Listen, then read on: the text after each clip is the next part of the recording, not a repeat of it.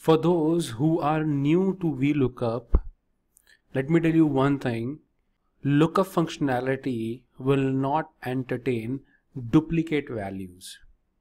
Now those who were using VLOOKUP earlier, you know that whenever you apply a VLOOKUP and there is a duplicacy in the data, it always gives you the result for the very first value in the data. Now how to apply a VLOOKUP on the duplicate values. Now technically that is not possible, but we have a way. We can actually create a unique field out of that. How we can create it, that is a trick. So let's see. Let's have a look at the data first. We have some invoice number. These are few invoice numbers in front of us. We need to find out the total income generated from these invoice numbers. Now on the next worksheet data, we have a lot of invoice numbers, products, sales reps, region, date sold, price, quantity and the total income. Now we have the duplicacy in this. I have already colored these rows that you can see these invoice numbers are duplicate. So and over here you can see the very first invoice is 3786 and it is coming three times. And 2415 is also coming three times over here. So that's a duplicacy.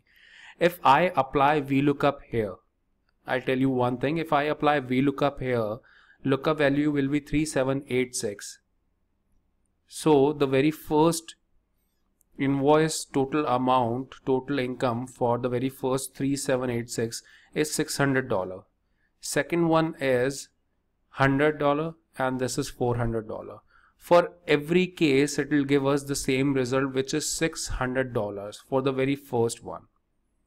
So to avoid that we need to create a unique field. That how we can create it that is a small trick. Now I'll say that how many times this number is coming this is what I need to find out so how we can do it this is you need to look at it very carefully if I use a count if function that we have already discussed in the previous videos if you have if you do not know about this please first check that video and then come back to this worksheet. Now it says range and criteria. Range, right now I'm going to say that it is range this colon this B7, B7 to B7, only this range. And comma, uh, what I need to find out is again B7. It seems very dicey and very confusing. Everything is B7, which is the first invoice number. But think about it. Here, if I come to this cell and if I press F4 and freeze it, now think about it. When I what it what it will give me? It will give me that in the range b7 to b7 it is only in this cell. This b7 this invoice number is coming how many times? Only one time. This is one thing okay let me explain you clearly to you. I'll close down the bracket here and I press enter. This is coming only once which is fine. It is actually coming only once. But let me copy and paste it once down. Just have a look. What is happening? Let's have a look at this. Now it is b7 because I have freezed only the first b7 so now it is b7 to b8 now in this b7 to b8 how many times this b8 is appearing so it will tell me what? Only once because this is a unique value. Again, I let me copy and paste it down. It will again tell me only one because this is coming only once. Again, let me copy and paste it down. Now here you will get the clarity what I'm trying to tell you. Now it is showing me two because B7 to B10, it means in this range, this value. Now it is looking at what?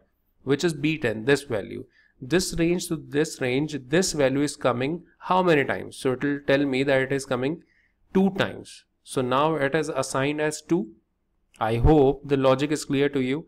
Now I'll copy and paste it down till the end. So just have a look. The values it will show me. See this. One one two three whatever the number of times it is happening. So now a unique value is being assigned to it isn't it one thing is left a very small thing. We have also covered concatenate or ampersand function in text functions. It means I need to create a concatenated value. Just one or two will not serve my purpose. So we'll say equals to my invoice number and double quotes hyphen double quotes and this. Now if I press enter, here is my first unique value.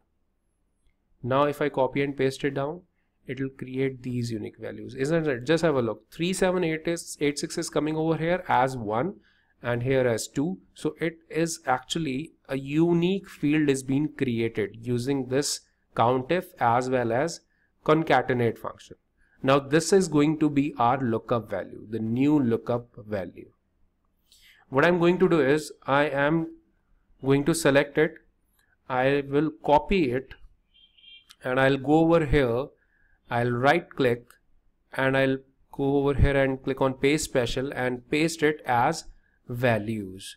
So this is going to be our lookup value field now. We are not going to concentrate on invoice number this one but this is going to be our invoice number the new invoice number. Now the same way now if I apply VLOOKUP here and I pick up this lookup value and if I go over there I do not have that kind of value here. So again that unique field we need to create over here also. Same way I'm going to create it but I'm going to create it in a single cell. Just have a look. What I'm going to say is equals to this invoice number and keep in mind one thing that it should be the same one. It means that formatting and everything should be same.